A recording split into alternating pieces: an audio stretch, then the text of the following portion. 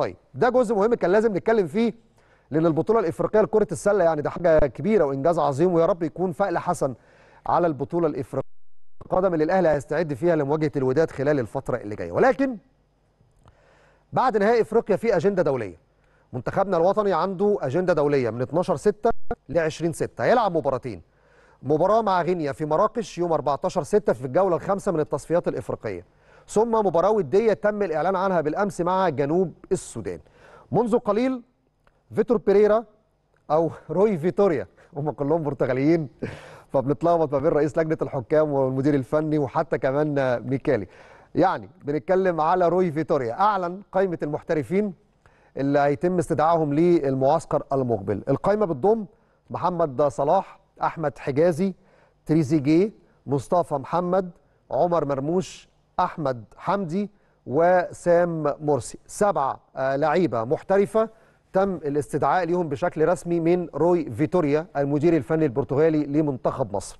أكيد معسكر واستعداد وسفر للمغرب ثم بعد ذلك اللقاء مع جنوب السودان. وكويس إن الفاينل دور الأبطال في المغرب فهيوفر على المنتخب مشقة السفر بالنسبة للاعيبه الأهلي والتحرك هيكون للعيبة من كازابلانكا على مراكش. فالموضوع بسيط أفضل ما كانوا هيجوا أكيد من جنوب إفريقيا. طيب في تفاصيل أكتر عن معسكر المنتخب والاستعداد لهذه الأجندة لأن هي أجندة مهمة جدا ليها علاقة كمان مش بالتأهل بس أمم إفريقيا لها علاقة كمان بالتصنيف. لذلك نروح مباشرة إلى الزميل الصحفي والناقد الرياضي والمنسق الإعلامي لمنتخبنا الوطني الأستاذ محمد مراد. مراد مساء الفل عليك. مساء الفل عليك يا محمد وكل سنة وأنت طيب وبخير. وأنت طيب وبخير دايما وتحيات كل مشاهدي قناة الأهلي ليك. حبيبي محمد وبارك للنادي الأهلي طبعا فريق السلة وإن شاء الله يوم 11 بإذن الله. نبارك للنادي الأهلي إن شاء الله وإحنا في المغرب كده وبالصوبه وإن شاء الله دوري أبطال أفريقيا بإذن الله. ماتش طبعا ماتش صعب بس إن شاء الله الأهلي زي ما عودنا الأهلي ولاعيبته ورجالته إن شاء الله قادرين إن شاء الله يحققوا البطولة ويساعدوا المصريين بإذن الله. أكيد. طيب يعني عايز أعرف منك بقى يا محمد بما إنك طبعا المنسق الإعلامي لمنتخبنا وزميل إعلامي وصحفي وعندك التفاصيل وقريب جدا من روي فيتوريا والجهاز الفني إزاي المنتخب بيستعد لأجندة يونيو؟ ومن حسن الحظ الحمد لله إن ال final في المغرب فمشقة السفر مش هتبقى موجودة لأن لعيبة الأهلي هتنتقل من كازابلانكا لمراكش. وليه اختاروا اللعب مع جنوب السودان في نهاية الأجندة ما يكونش منتخب أعلى شوية في التصنيف؟ لأن كل التساؤلات دي أكيد برضو الرأي العام بيسأل منذ إعلان إقامة هذه المباراة بالأمس. يعني بص محمد في الأول خالص هتكلم على حتة إن المنتخب أو الجهاز الإداري تحديدا واتحاد الكورة يعني الحمد لله كانوا مستعدين لحاجة زي دي وكانوا مجهزينها من بدري. محمد حتة ان إن هم بيتكلموا في في في ماتش النهائي نهائي دوري أبطال أفريقيا والأزمة اللي بتحصل كل في, في, في أفريقيا في السنوات الأخيرة. م. إن تلاقي نهائي دوري أبطال أفريقيا مع مواعيد الاجنده الدوليه تلاقي مثلا كأس العالم للأندية مع مع, مع بطولة ام أفريقيا. فالحقيقة الجهاز الإداري دعم الكابتن محمد غرابة والكابتن مينا سامح وعلي وبالتنسيق مع اتحاد الكرة الحمد لله يعني كانوا بيخاطبوا الاتحاد الأفريقي من شهر اثنين محمد. وكان عندهم يعني علم علم بالنقطة دي أو ان هم بيضغطوا على الكاس لازم يبقى نهائي دوري أبطال أفريقيا قبل الأجندة الدولية. وكان طلبوا لو الماتش في هيبقى في أفريقيا يبقى في يبقى في تعديل لماتش غينيا يبقى في الأسبوع الأخير من التوقف. فدي كانت لقطة يعني لو ما كانش اتعملت هتلاقي طبعا الإعلام بينتقد فلازم الحاجة الحلوه أو الحاجة الكويسه نتكلم عليها أو نقول عليها. طبعا النهائي في المغرب سهل طبعا جدا على النادي الأهلي وعلى منتخب مصر إن هو يبقى موجود ان شاء الله في ماتش غينيا. ماتش غينيا الحمد لله إحنا يعني الحمد لله المنتخب قاب قوسين وأدنى خلاص من التأهل لامم أفريقيا إن شاء الله ويتم حسم ده بالفوز على منتخب غينيا إن شاء الله يوم 14 في في في مراكش إن شاء الله يوم 14 ماتش صعب يا محمد ماتش سهل. منتخب غينيا من المنتخبات اللي ماشية بخطوات ثابتة في أفريقيا في السنوات الأخيرة. هي مباراة حسم الصدارة يا محمد أعتقد. هي مباراة حسم حسم حسم الصدارة فعلا وحسم التأهل الرسمي 100% للمنتخبين.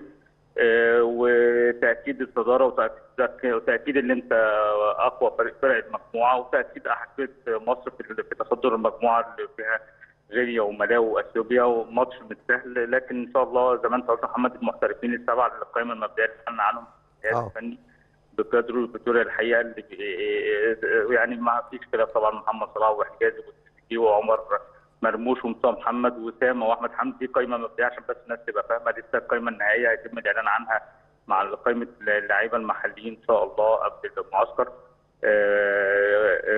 فالاستعداد سالتني الاستعداد لغاية الآن الناس والله محمد يعني آه، طريقة عمل الجهاز الفني الحقيقة بيبقوا موجودين في الاتحاد من الساعة 9 الصبح وبيخلصوا آه، آه، عملهم اللي هو الفني أو التنسيق وبعد كده بيطلعوا زي ما أنت بتشوف محمد بيحضروا ماتشات الفرق كلها.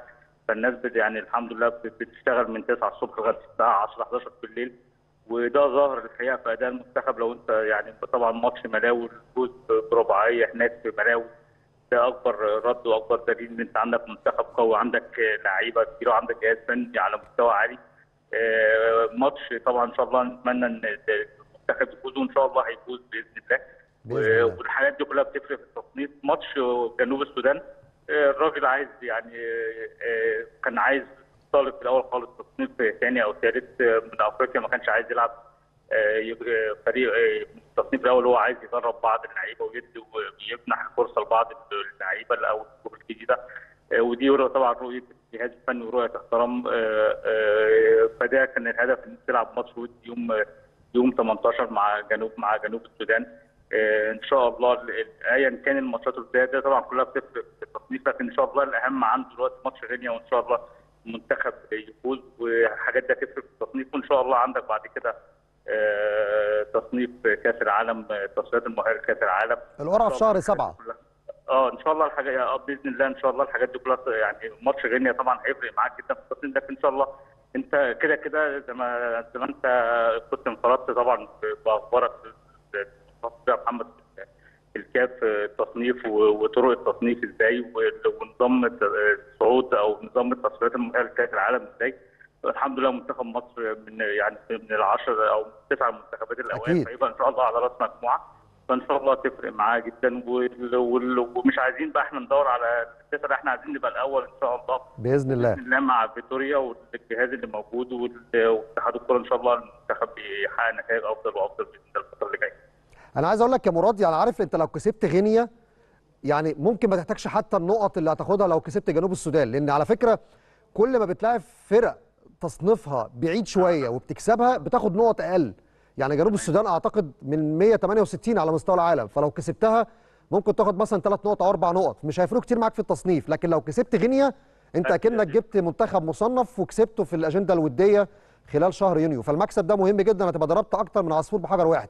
تأهلت تصدرت عليت تصنيفك ممكن تبقى الرابع على مستوى إفريقيا أو الثالث كمان مش الخامس زي دلوقتي. أكيد هتفرق معاك جدا محمد وده المستر فيتوريا الحقيقة والجهاز الفني بيتكلم فيه يقول لك أنا الأهم عندي ماتش غينيا أكسب ماتش غينيا و... بالظبط وده وده هدفه الحقيقة يعني في أي ماتش بيلعبه سواء بره مصر سواء جوه مصر وده اللي شفناه في ماتش ملاوي وشفناه حتى مع ماتش آه، بلجيكا الودي اللي كنت بتلعب منتخب كان ثاني أقوى منتخبات العالم وقتها وقدرت أنت تفوز عليه.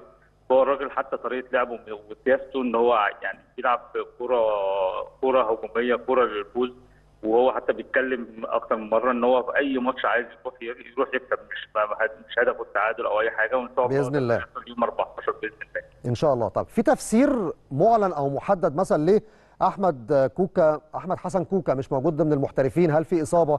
في أسامي تانية كانت مرشحة ما كانتش مو... أو مش موجودة بسبب إصابة أو حاجة تانية ولا ما فيش حاجة معلنة أو محددة يا محمد هو أكيد بص يا محمد يعني بيبقى في تنسيق كامل بين مستر روي فيكتوريا والجهاز الطبي بقياده المحترم الحارس محمد ابو من الناس الشاطره والمركزه قوي في شغلها. وأنت أكيد طبعا على دراية بحاجة زي كده فأكيد إن هو استبعاد لاعب أو ضم لاعب إلا مش هيكون سليم 100% ومش هيكون وهيكون متواجد في معسكر منتخب و... و... فبالتالي استبعاد كوكا أو أي لعيب ثاني سواء بقى طارق طارق حامد أو النني أو إمام عاشور في أي لعيب من دول طبعا ادام تم استبعاده فأكيد إن هو مش مش هيبقى وقت المعسكر مش هيبقى جاهز 100% فبالتالي المستر لوي فيتوريا آه، وبالتنسيق مع الجهاز الطبي يفضل يعني استبعاد اللاعبين دول إن هو مش هيلحقوا المعسكر أو أو إن هم مصابين فمش هيلحقوا. فبالتالي استبعاد أي لاعب من اللي إحنا اتكلمنا فيه دول طبعا من العناصر الأساسية سواء النني طارق حامد آه، كوكا إمام من العناصر الأساسية طبعا في تشكيل المنتخب في الفترة الأخيرة. بالظبط مصابين. كده كده النني طبعاً. وإمام حتى مصابين. مصابين طبعا. فاستبعاد أي لاعب أعتقد يعني بسبب الإصابة. مش أي طيب. حاجة فنية إن شاء الله. آخر سؤال ومش هطول عليك. دي قائمة المحترفين. طيب قائمة اللعيبة اللي بتلعب في الداخل في الدوري المصري وأكيد هيكون من ضمنهم لعيبة النادي الأهلي اللي عندهم مباراتين في إفريقيا بعد مواجهة سيراميكا يوم الاثنين. ممكن يتم الإعلان عن أسماء لعيبة الأهلي أو لعيبة يعني لعيبة المنتخب اللي لعبوا في الدوري المصري إمتى مثلا؟ يعني هو في اجتماع بكرة تنسيق كده بين الجهاز الإداري. آه، محمد غرابه مع المدير الفني. إن شاء الله يتم الإعلان عن الحاجات دي كلها بكرة بإذن الله. موعد إعلان القائمه الكاملة سواء بقى محترفين أو محليين. وزي ما قلت لك محمد في الأول إن سبع المحترفين دول ممكن يكونوا موجودين كلهم ممكن يبقى يتم استبعاد حد فيهم لسه لغاية دلوقتي قائمه مبدئية. فيتم الإعلان عن القائمه بالكامل إن شاء الله. يعني آه، زي ما قلت لك هيتم الكشف عن المواع- عن المواعيد بكرة إن شاء الله. بإذن الله. آه، وإن شاء الله الافيد والأنسب للمنتخب بإذن الله يتحقق مع الجهاز الفني باذن الله ويحققوا نتائج إيجابية بإذن الله. بإذن الله. الزميل العزيز والكاتب الصحفي الأستاذ محمد مراد المنسق الإعلامي لمنتخبنا الوطني بشكرك شكرا جزيلا على كل هذه المعلومات والإيضاحات. محمد من الناس المجتهدة والشاطرة ومتعاون جدا. للاجابه على أي سؤال وأي استفسار بيخص منتخبنا الوطني وده بالتأكيد شيء مهم جدا يكون في تواصل ويكون في حلقة واصله بين جهاز منتخبنا الوطني مع الإعلام والصحافة عشان المرحلة الجاية. يا رب نتمنى التوفيق لمنتخبنا مقبل على حدث مهم جدا. قرعة تصفيات كأس العالم وقرعة كأس الأمم الإفريقية لأن خلاص إحنا على اعتاب التأهل للكوت ديفوار البطولة اللي هتتلعب في يناير اللي جاي إن شاء الله في ساحل العاج. طيب ده جزء